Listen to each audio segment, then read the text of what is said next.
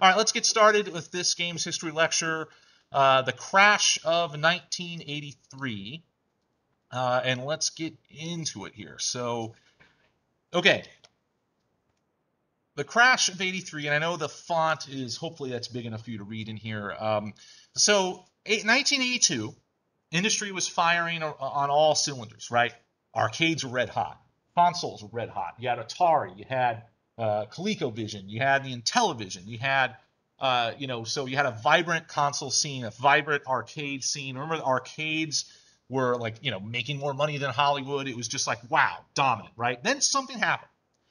Now, what I want to make sure that you all understand here is that this happened in America mainly, okay?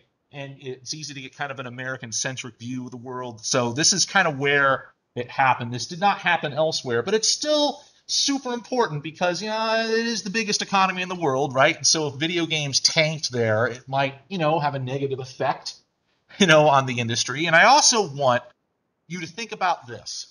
Okay, history, when you look back on it, always seems linear, right? Always seems inevitable, right? Like, of course, video games are going to be with us. Of course, there's going to be someone that would step in and fill this void that we're about to talk about. But that's not necessarily true. That only feels like that because we're looking back on it, right?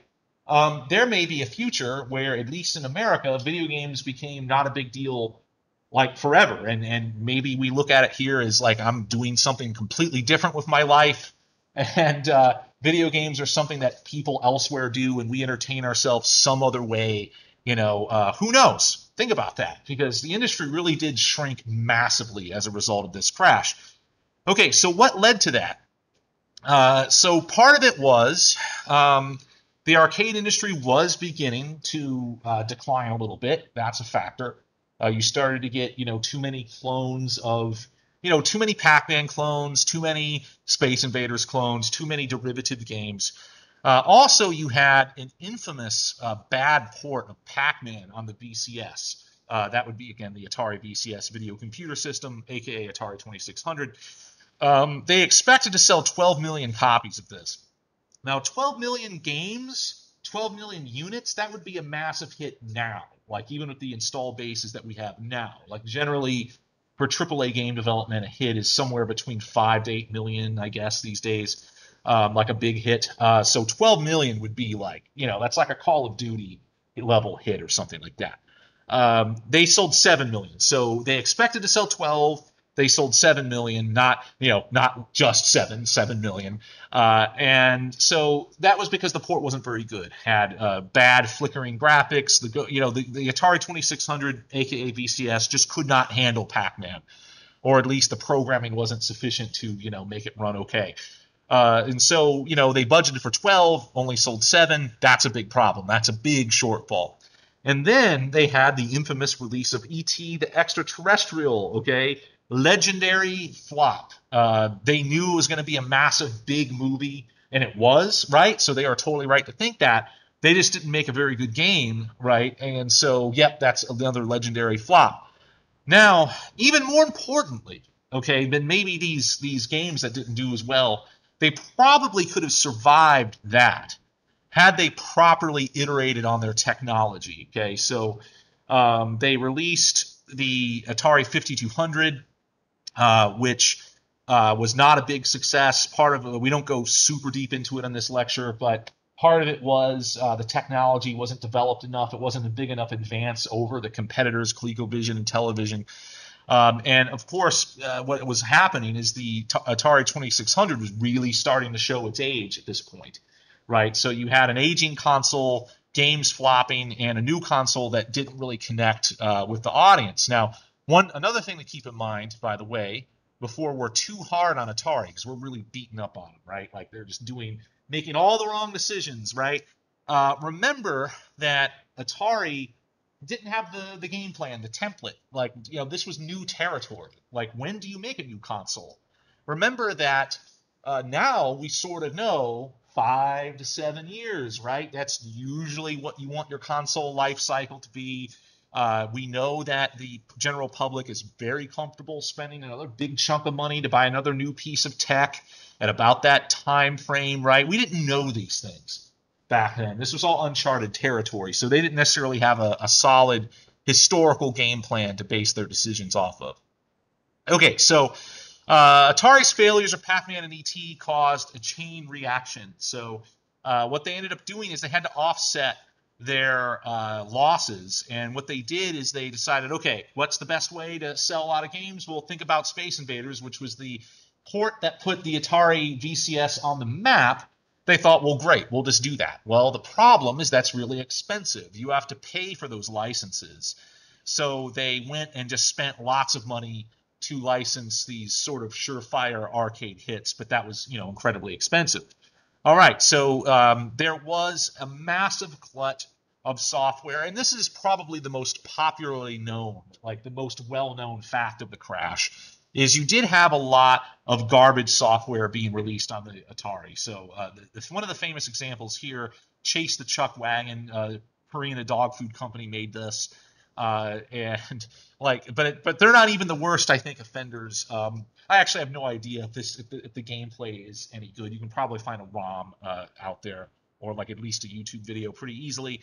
Atari did like a Rubik's cube game, right? Like like why, right? This is this is exactly the Chris Crawford don't copy existing games. Actually, when you think about the Chris Crawford game design stuff, it, the Atari Rubik's Cube game violates like every component of what he talks about, right? It's imitating an already existing game from the real world, which he hates doing. It's a puzzle, which he doesn't even consider an actual game because it has limited interactivity, right? Uh, and of course, the you know the if Atari had a vice president of common sense, that person might have said, "What makes this better than an actual Rubik's cube?" Right? Like not much really, right? So that's just an example of the kinds of things being released for the Atari back then. Uh, yeah. Shovelware situation at this point than it is now on um, it's see the mobile market. The question for the statewide is it worse or better than than mobile?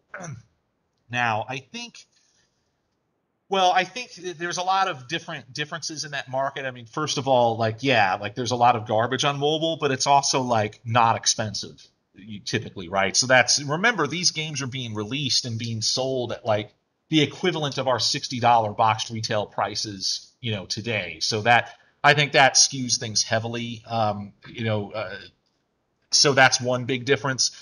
Uh, also, I think that um, you know games are just more established now. Period. There's sort there's kind of more of a buffer now, right, for a, a bigger margin of error in terms of like how many mistakes uh, individual company can make uh, and and cause the entire market to collapse. Because remember, uh, even though Atari had these competitors, it was basically them in in the home console space. I mean, they were the dominant player. So if they went, a lot goes with it. Whereas now you have, I mean, you know, between Steam and you know PC gaming in general, and you have like you know three major console manufacturers, uh, you know at this point, and you have you know the mobile gaming and and everything, and you know just more people playing games. Period. I would like to think I could be wrong, but I would like to think that there's just a bit more. Uh, you know, there's more diversity in the market, you know, which is going to prevent, I think, something like this. Um, so another factor that I want to talk about is uh, the home computer market right? In America, especially, I think uh, this was beginning to flourish. And now, why would that hurt uh, the video game market uh, when you know people could play games on these things? Well, uh, it was hurting them because of a price war that was happening. Okay, so what was happening in the uh, early to mid '80s? Is uh, you had these various different companies, uh, and actually Atari was one of them making computers, but another would be, you know, Texas Instruments would be another one, uh, Commodore is another one. Uh, they were all racing to make the cheapest possible computers. It was a price war. They didn't care if they lost money. They were, you know, their their feeling was we we, we get our device in your home, then we got you, right? It's it's that sort of business model where, where we're willing to sell you the razor as cheap as possible because you buy razor blades from us, that sort of thing. Uh, and so it was starting to happen where home computers were at or below the price of the consoles themselves. And if you're a consumer, and there were ads, there were ads on TV like William Shatner and stuff that that were even like highlighting this, that were basically saying, "Hey, why in the world would you buy this video game box when you can buy a wonderful computer that can educate your kids and do spreadsheets and do all these things. And oh yeah, also play games, right? So uh, that was hurting the market as, as well. So how bad was the crash? Well, pretty bad. Okay, uh, so you have 3.2 billion to 100 million. Okay, like that's an enormous change. I mean, that's just an entire industry vanishing, you know, like like almost overnight. So, what are the effects of this? Uh, lots of people, companies going out of business. Okay, you have uh, Magnavox, who made the very first uh, game console. Goodbye, they're gone. They're not, in, you know, they're not doing this anymore.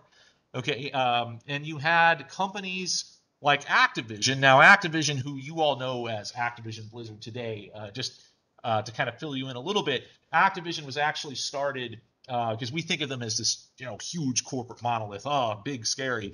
Uh, they started out as these programmers working for Atari that thought they can do better outside of Atari. That's how Activision started. Okay. Um, and so they uh, had to switch. They survived, but they switched from console to PC game development, which affected games history in a very interesting way. The fact that they switched to that. And Atari themselves, obviously permanently damaged uh, at this point. They had to be sold again to Commodore International, make, makers of the Commodore PCs. Um, and Commodore's perspective was that uh, okay, you're you're making computers now, right? Like, uh, and the arcade division, by the way, was kept by Warner. So the arcade division of Atari uh, did not go with the Atari home division when this sale happened. And so you had this weird division where you had uh, Atari, the home console company, now making PCs, uh, but then you had the uh, the Atari arcade manufacturing company. These are now separate businesses um, at this point. Okay, so as I like to mention, uh, you know, because oftentimes when we read about the crash of 83 on the internet, this part isn't emphasized. So I like to emphasize it here. Um, the crash was an American phenomenon with consoles, right? Uh, in Europe and elsewhere, uh, the game consoles continued to sell, right? So, you know, if, if, you are in another country, if you're in the Japanese video game development scene, then you're you're you know not necessarily noticing this, although they did have a term for this. They called it Atari shock uh, in Japan, I think, is what they referred to this crash as, because uh, they recognized it as kind of an Atari-driven phenomenon.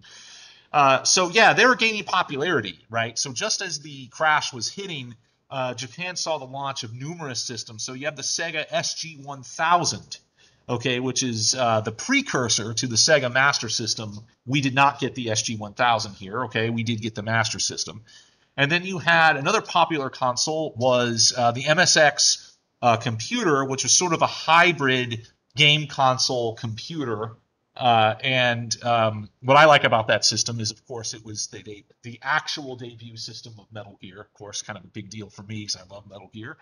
Um, and of course, you have this thing, okay? And it gets its own slide. 100% deserves its own slide. Yes, this would be uh, the Famicom, aka Family Computer, yes, this is what would become known uh, to us here in America as the Nintendo Entertainment System. Uh, but this was out for several years in Japan before it ever made it here, right? So this was already in 1983 a thing that was released. And um, I just love that design, by the way. I think the design we got really is super lame. I've always preferred that, especially the way the controllers slot into the side. The color scheme, love it. Love the love the Famicom. Okay, so uh, one of the consequences of this that's super important uh, with the crash is it clears the way for Nintendo, right? Like you really had to have this crash happen, I think, for Nintendo to have the opportunity to basically define our industry like it did. Uh, otherwise, you know, Atari would be going strong and it would be doing its thing and releasing other consoles and would be talking about, you know, hey, did you have to like get in a line at Best Buy to get the Atari 18000 or whatever they'd be calling it now. But that didn't happen because of the crash, right? Uh, so here's what here's kind of what happened uh, with with Nintendo. So initially, this is kind of amazing to me. Atari had an, incredible opportunity to to make an inc- amazing comeback. Nintendo initially didn't feel like they had the ability to distribute the Famicom in America very well, so they wanted Atari to do it for them. Okay, so uh, they initially approached, uh, and, and, you've read this in the book. Uh, they almost made it happen. So imagine that the Nintendo is an Atari product, right? Um, almost happened, but it failed because Coleco, all right, managed to use Donkey Kong for their Adam computer. Now, Donkey Kong at the time was Nintendo's hottest property. One thing to remember, okay, when we think of Nintendo, just like I mentioned Activision, we're like, oh, Activision, right? Nintendo's same kind of thing. We think Nintendo as Nintendo, okay? But in 1983, it was just Nintendo, right? It was just just a company, okay? Like not a global phenomenon, just a company. All right? It just happened to be a company that at this point had one global massive hit, Donkey Kong, okay?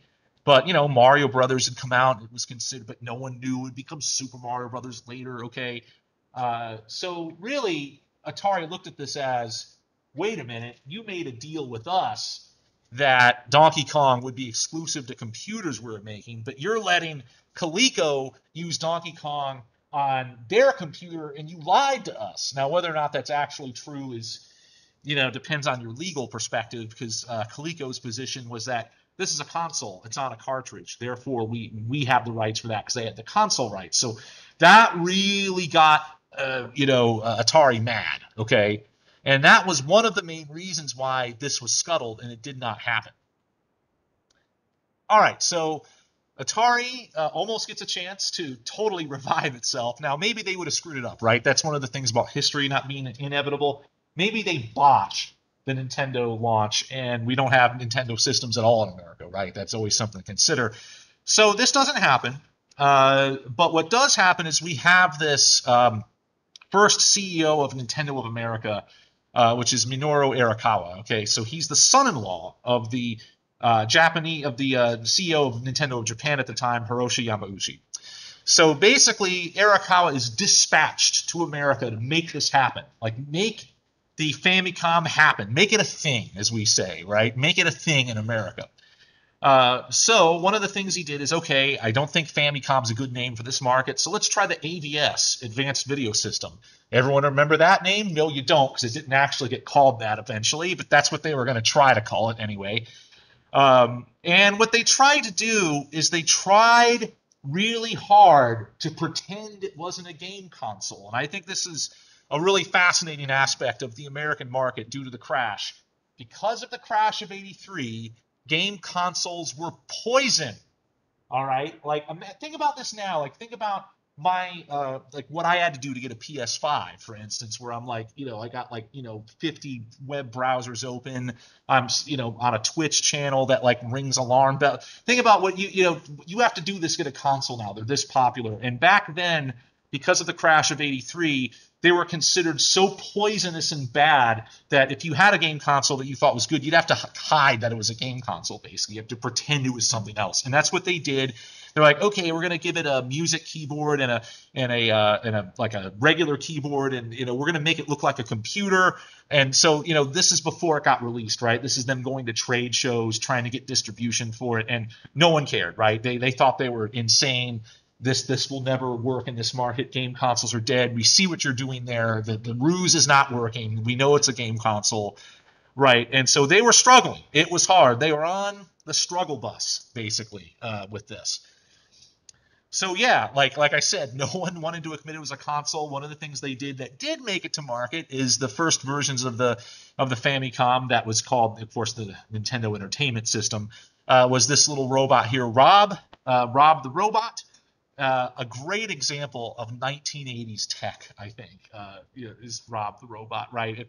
Uh, like the, in, in the 1980s, uh, and this is, by the way, we're now finally getting to things I remember in my life. Okay, we're now finally at that point where I can actually think of my own memories. And in the mid 80s, if you're a kid, five, six years old, like I, you know, like I was, uh, robots were sort of all the rage back then. Uh, they were showing up in movies, and so it, you know uh, there was sort of this toy obsession of robots. They were trying to kind of hook onto that um, uh, sort of fad. All right, uh, and also they added the gun peripheral, the initial light gun. Uh, and by the way, the robot was developed by Gunpei Yokoi, that guy, the love tester guy. Okay, so that was one of his things. Uh, Gunpei Yokoi was the inventor of Rob the robot. Uh, he developed that. So the robot kind of worked. Okay, maybe the initial attempt, you know, with the keyboard and music keyboard and all that didn't work, but the robot toy did attract some interest because uh, of the robot fad. So this was actually somewhat successful uh, to uh, to sort of get people in America to care about it. Um, and uh, yeah, so this is I I forgot what what that slide was going to be, and now I realize why uh, why I have that there.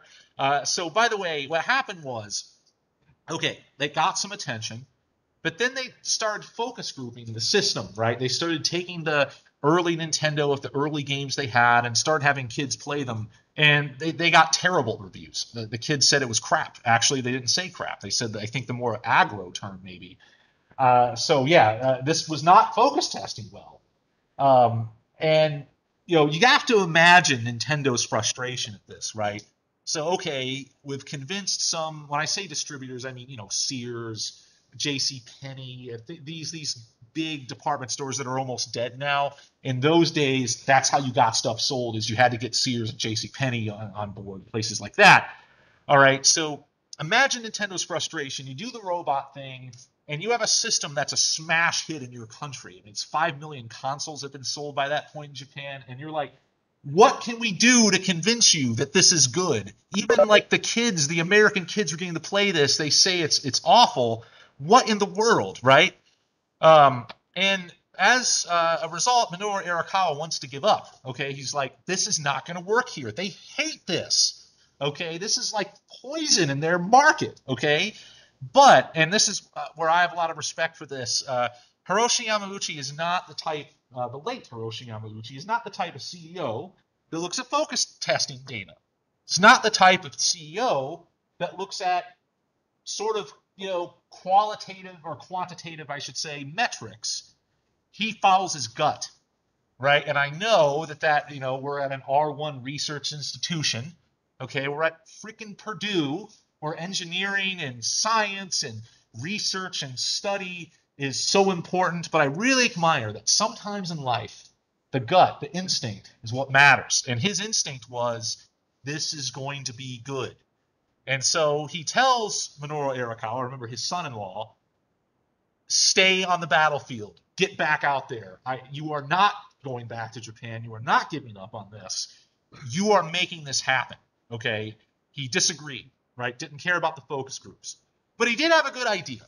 He goes, hey, hey, look, let's let's try a small launch. Let's try a test. Let's try New York City. Okay. If we'll just release it in New York City and if it succeeds there, then then that's a good sign, right? If, if you can make it New York, you can make it anywhere, right? And that's like literally the Jay Z song, I think. If you can make it New York, you can make it anywhere. So uh, that was sort of his good idea, I think, with this. Okay, so the New York debut of the NES. So it's not called the AVS anymore. It's now the NES, Nintendo Entertainment System. The initial stock barely fit in one warehouse, right? So they didn't make that many. Uh, now, again, I have to remind you because history is not inevitable. Okay, uh, so much of what we think of as ah Nintendo was not there yet. No Super Mario Brothers yet. That did not. That game wasn't out for the uh, New York launch. Okay, there was no Super Mario Brothers. Okay, these right here were the big system sellers. Those were what they were counting on. Wild Gunman and Hogan's Alley. Anyone play those? Anyone wear a T-shirt with the, with that on it? I don't think you know if someone you know I'm seeing if anyone wants to lie to me about that. Yeah, no, no one remembers Wild Gunman and Hogan's Alley. I actually got those games uh, when when we got the Nintendo at Christmas, but that was more because you know, and this is why they launched with these games. By the way, it's not because I cared about them. I didn't give a crap about them. It's because my dad liked them. Okay, and it's dad that buys the game console Okay, so that was kind of one of the importance of, of having these these gun games or whatever. But again, I, I have to stress all the things we think of of Nintendo weren't quite there yet, right? So their success was not inevitable. Okay, he takes one more. Now, this is Minoru Arakawa's idea, and it's really brave because if this backfires, uh, Yamauchi is probably sending him packing. You think he's not going to send him packing? That's his son-in-law. Uh, no, if you if you read about Hiroshi Yamauchi, he was hardcore. He absolutely would have fired his son-in-law. 100% certain of that. Uh, he says, okay, look, Christmas '85. Uh, I'm going to offer a money back guarantee to the uh, stores that are carrying this, and if any, uh, if they don't sell these units, we're going to buy them back. Okay, that's a risk a manufacturer never takes. Okay, that's unheard of. That's insanity to take that type of risk. All right, and obviously Hiroshi Yamauchi was not happy about this. He was super mad, but it worked. Okay, uh, they ended up selling all of their stock in New York City, which is the first sign of the immense cultural phenomenon that the Nintendo would eventually become. The first sign of that is right here, their success in New York City. And by the way, this mediocre baseball game is another one of their launch titles, by the way. It's just hilarious how uh, they launched not with the games we think of, but with some of these games that are like really barely better than Atari 2600 games at this point. Okay, so yeah, what games launched in 85? I mean, look at these massive, iconic hits, right? Like Tennis. Wrecking Crew's pretty cool. That That's a good game. I like Wrecking Crew. Uh, what's that? Oh, uh, yeah, yeah. Wrecking Crew is in Smash Bros. Yeah, like, uh, right. Yep. Yeah, Nintendo loves their history. They do a really good job of kind of immortalizing their their history. Um, so uh, I think actually this is a list of all the um, of the launch title of the launch games in '85. So let's just take a look. Ten Yard Fight, uh, baseball, Clue all right. Uh, let's see what else here. Donkey Kong Jr. Math. Now there's an exciting. I had that one, and I had it probably because my parents thought it was like you know it would alleviate their guilt of rotting my brain, right? Um, Duck Hunt. That that's a cool game. Okay, Duck Hunt's a cool game. Uh, I I will stand for Duck Hunt. Excitebike is also a cool game, so that's definitely one of the better ones. Uh, that had a track editor that's a wild thing to have in a game that that old. So you can actually make your own tracks. Um, golf. Golf is actually okay if you like video game golf. It's not going to win any awards. Um, uh, Gyromite is the Rob the Robot game. Okay, so uh, you, you move the little character around, and then the robot in real life. You, you can look at a YouTube of it. Um, it's Rob the Robot's one of those things that looks awesome, but when you actually try to use it, it's like, you know, you'll get like 15 minutes of fun out of it and then into the closet it goes. It served its purpose for Nintendo, though, which again was to make it not seem like a game console, but a toy, rather. All right. No, no, no. I'm good. Totally good. Thank you, uh, Mashable. Okay. What else did we have? Hogan's Alley, which, okay. That one, um, it's one of the like gun games. I actually did kind of enjoy it, even though my dad basically bought it for himself. Uh, it, it, does have some fun kind of shooting gallery scenarios. Um, Ice Climber, okay, that's that's a pretty good one. That's a pretty good one. Kung Fu, anyone remember Kung Fu Master from the arcade uh, lecture? That's what this game is. Okay, uh, it's the same. It's a port of that game, uh, and so that's actually one of the better ones, I think. Uh, and and that's what gets people confused. They actually because this is now become far more famous than the arcade game. Most people just call it Kung Fu. They don't remember it's actually Kung Fu Master, and they think Nintendo made it. Well, no, that was made by Irem, and Nintendo ported it. So, uh, you know, be uh, be better than the average person and know those things about Kung Fu. I am not familiar with Mach Rider. Um, not familiar with it at all, actually. Um, and uh, yeah, they did a pinball uh, sim that's okay. Uh, Stack Up is another one I'm not familiar with, and uh, this is not true. Um, this did not uh, debut in New York City, so they're they're just totally wrong here. Um, so anyway, yeah,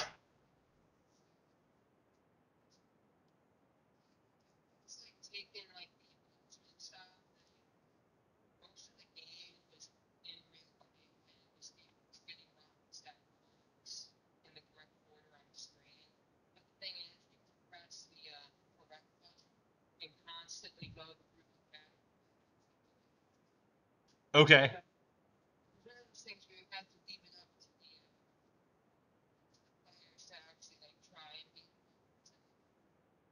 Oh, it's an honor system. Okay, gotcha. It's kind of going back to uh, Magnavox land there a little bit.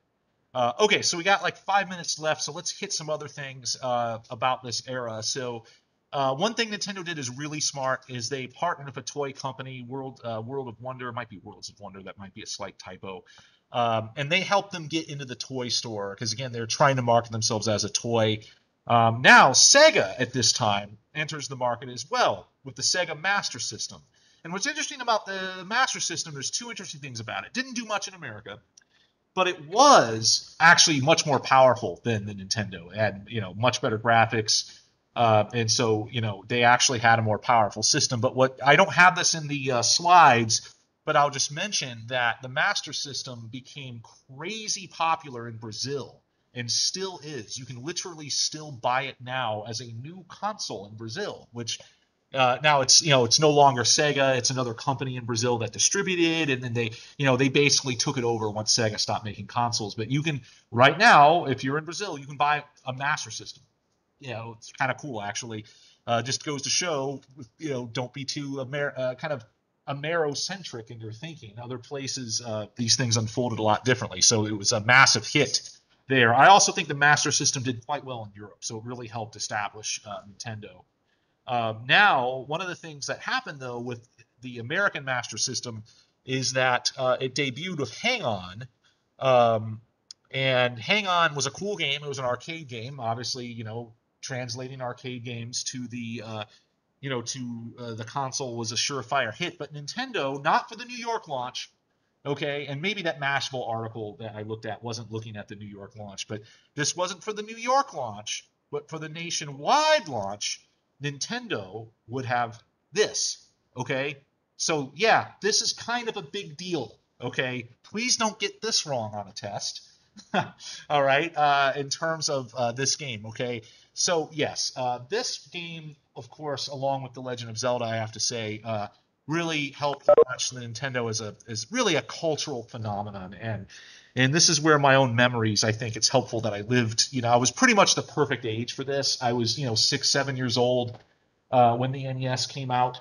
Um, and really the thing about playing super mario brothers it technically did have an arcade release but it hardly appeared in any arcades. It's actually kind of rare to find but but it was a coin op okay uh, most of us didn't know this and the thing about super mario brothers is it just played differently than arcade games, right? It had this world you can explore. Yes, you explored mainly through jumping, but it was still an explorable world, right? It had the warp pipes that you could skip around in. It was just, it was uh, mind blowing at the time, right? There's a few things in games history I'm going to refer to as like total game changers. All right, this is definitely one of the big game changers here.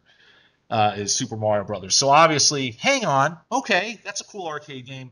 Super Mario Brothers, a complete zeitgeist-defining megaton. Obviously, Nintendo's going to have a huge advantage, and of course, Shigeru Miyamoto, designer of that. Okay, so one more minute here. So let me just say, at this point with the nationwide launch, they were a gigantic, massive, huge hit to the point where, for a while, not now, but for a while, especially in the mid to late 80s, video games was Nintendo, and, and or and Nintendo was video games. It was just like saying making a Xerox copy of something uh, you know, you referred to video games, you were really talking about Nintendo. That's how powerful their market control. And the one thing they did, and they learned this from Atari, and uh, Hiroshi Yamauchi even says this, they understood that Atari had a lot of crap software, so Nintendo tightly, tightly controlled the third-party publishing with a lot of rules. This would eventually bite them in the rear because it would eventually make them hard to work with. But back then, it was definitely a key to their success. Now, um, their tight, tight control of third parties, and I know we're at 320, but let me just mention this. That tight control, where they were really strict with what games could be released, they limited how many games you could release, really did open the door to Sega and would allow them to compete later. Okay, that is it. Thank you.